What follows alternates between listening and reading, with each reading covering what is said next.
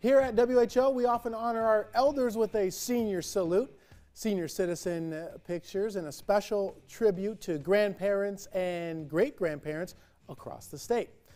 Graduation is all everyone talks about, and we want to salute the senior class on the Iowa State football team. At face value, the 7 and 6 record is a disappointment, but only because of a senior class that laid the cornerstone to raise the bar towards excellence in Ames. The perseverance and motivation that these 23 seniors used to say, yes, we can, when so many probably told them as high school seniors, you can't win at Iowa State.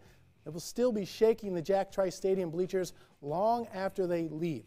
The 20 to 13 loss to Clemson in the Cheez It Bowl certainly stings. Should Brock Purdy have slid instead of trying to gain extra yards before being stripped? Maybe.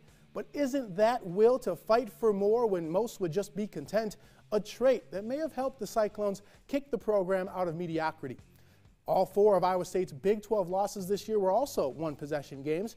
Did the Clones choke in the end and squander what could have been another season with a New Year's Day bowl game? Or have these seniors created a program where beating Oklahoma is no longer a surprise.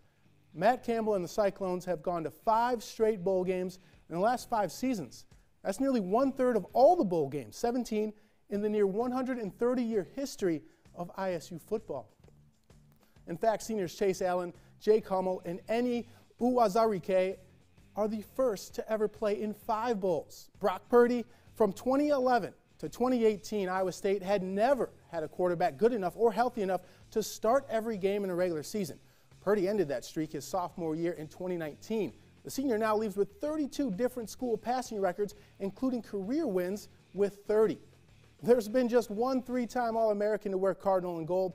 That belongs to senior tight end Charlie Kolar, with school tight end records for receptions and receiving yards in a season. There's a lot of senior talent walking out of the Bergstrom football complex, including linebacker Mike Rose, who was one of just two Cyclones to ever win Big 12 Defensive Player of the Year.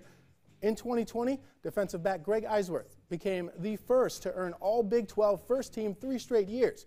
Now, high end recruits are noticing a strong bridge built off of those seniors' resilience in the face of adversity. The December signing period recruiting class comes in ranked 22nd in the country that's the highest ranking for the program by a landslide, a future created by a culture, a newfound consistency, and this senior class.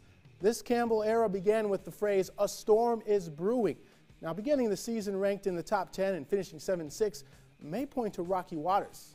But Cyclone fans, put on some shades. The future is bright.